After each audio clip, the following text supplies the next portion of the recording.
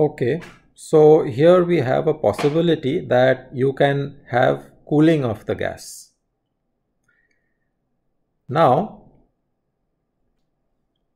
let us try and see how can one go about calculating this mu jt. So here I will be a bit quick and let's go over the basic relations and derivations. So we will try and calculate mu jt. Our attempt will be to calculate mu jt which is delta T by delta P at constant enthalpy. dH is delta delta H by delta T at constant pressure dt plus delta H by delta P at constant temperature Tp. And since it's an isenthalpic process, the Joule-Thomson is an isenthalpic process, you will get delta T using this above relation you can show and using this you put it here and then you take delta T by delta P at constant enthalpy. Just from this above equations you can show that it is equal to minus delta H by delta P at constant temperature divided by delta H by delta T at constant pressure.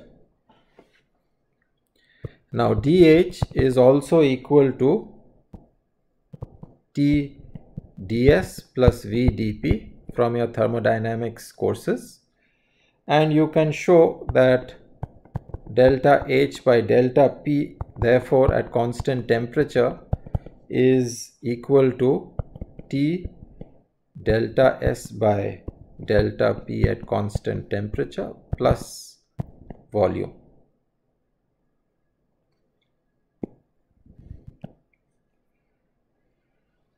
And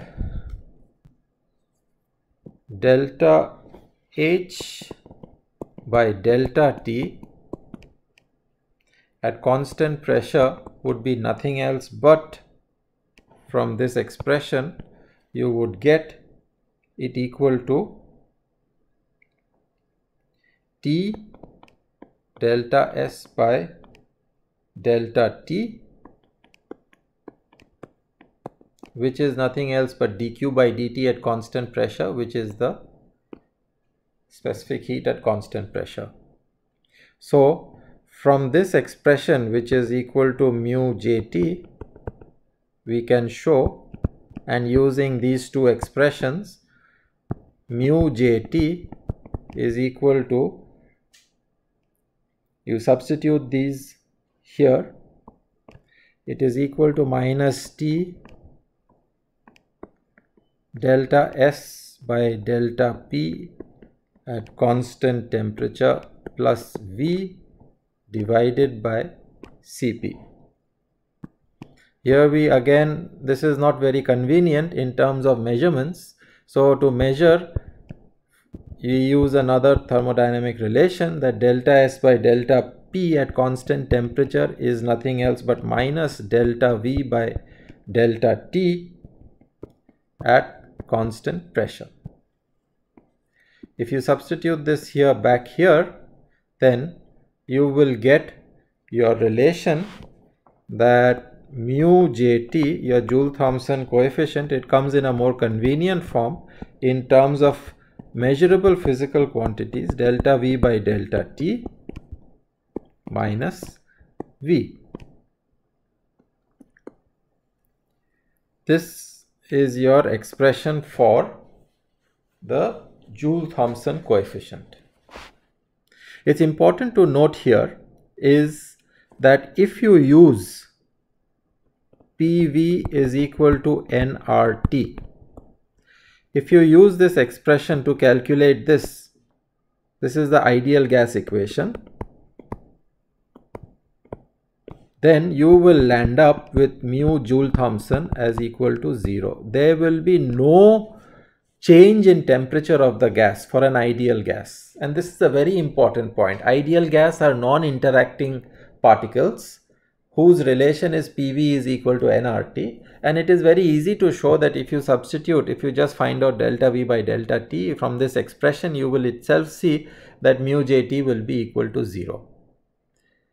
However, so therefore ideal gases will not give rise to any change in temperature whether heating or cooling. How about a non-ideal gas? And the simplest non-ideal gas that we can think of or know is the van der Waals gas whose relation is equal to P is equal to RT by V minus B minus A by V square and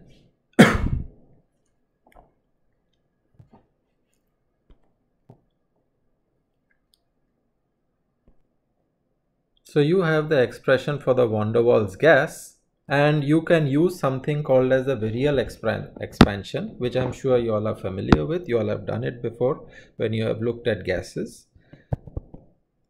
Z is equal to PV by RT. You define this and which in terms of this above expression would be V by V minus B minus A by V times RT which is equal to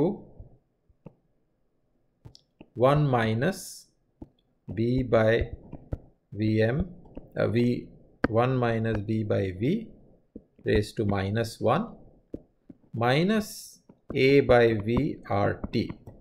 Now note that B by Vm will be much much less than 1 and so therefore you can do an expansion. And so Z which is equal to PV by RT is of the order of 1 plus B by V plus B by V the whole square plus so on.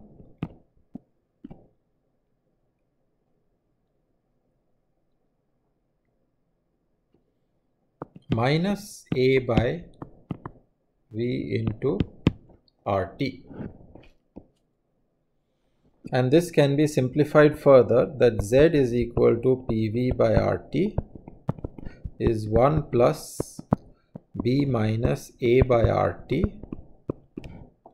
1 over V plus B by V the whole square and higher order corrections. These are very small corrections because they are appearing in powers of b by v. So because these are powers of b by v okay the real temperature dependence comes here and all the other higher powers go as um, uh, powers of b by v. So i'm sorry.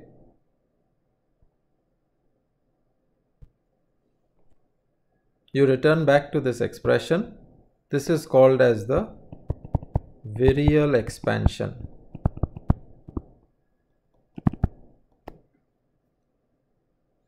And P by V RT is basically 1 plus B minus A over RT 1 by V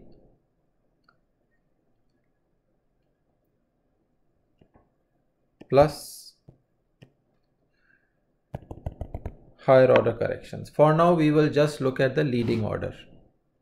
And so now what you can do is that you can uh, multiply this expression by this whole thing, you can multiply it by RT by P and then you will get V is of the order of RT by P plus b minus a by rt rt by pv plus higher order corrections. So, to leading order RT by PV this RT by PV is RT by PV is of the order of 1. These are all corrections. These are all higher order corrections. To leading order, it is of the order of 1. So one approximation that we can make is that we can reduce, replace this by 1. Okay. Because you can substitute this whole bracket here and put it here and then you will get uh, RT by P plus this bracket because there is a 1 out here. So the idea is that you have to replace this here for this okay and when you do that okay uh, to leading order this will be 1 and there will be higher order corrections which will be much weaker so to leading order this will look like v is equal to rt by p plus b minus a by rt and there will be higher order corrections which will be much weaker which one can show is much much weaker okay? And therefore your mu Joule Thomson if you now calculate which is 1 by Cp T delta V by delta T constant pressure minus V if you calculate this then this will turn out to be mu Joule Thomson would be 2a by rt minus b. You just take the derivative of this and you can show that 2a by rt minus b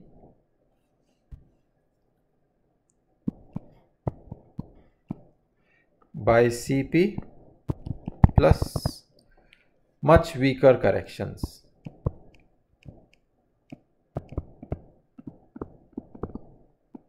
To leading order it is going to depend on this okay which will actually determine also the sign of mu jt so let us look at the leading order term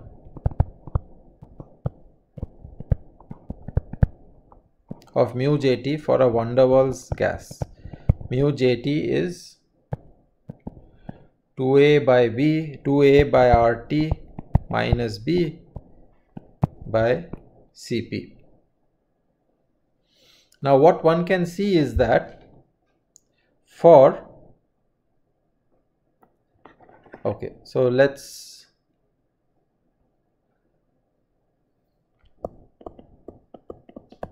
for very low temperatures.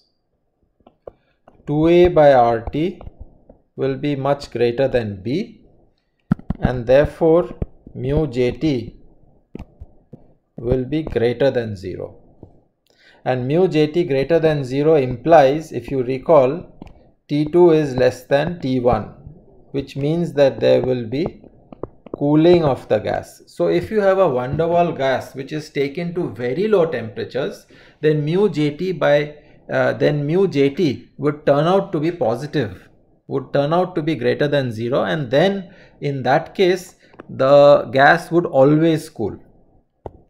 However, for high temperatures, for high temperatures 2A by RT could become less than B and when it does that then mu JT will become less than 0 okay?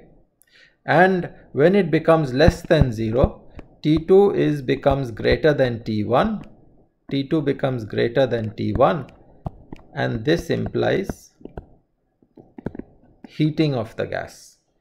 So if you are at certain temperatures, if you are at certain temperatures where 2A by RT becomes less than this B for the gas, then instead of cooling the gas, you can start warming it up when you do a Joule-Thomson expansion. And so therefore there is a characteristic temperature which is called as the inversion temperature which is the point at which 2a by RT inversion is equal to B. If you look at the expression for mu, this is the point at which mu jt becomes equal to 0 the mu jt to leading order the leading order term becomes of the order of 0 and that is the t inversion point and so t inversion is where b into t inversion is the temperature at which mu jt is equal to 0 or it is equal to 2a by rb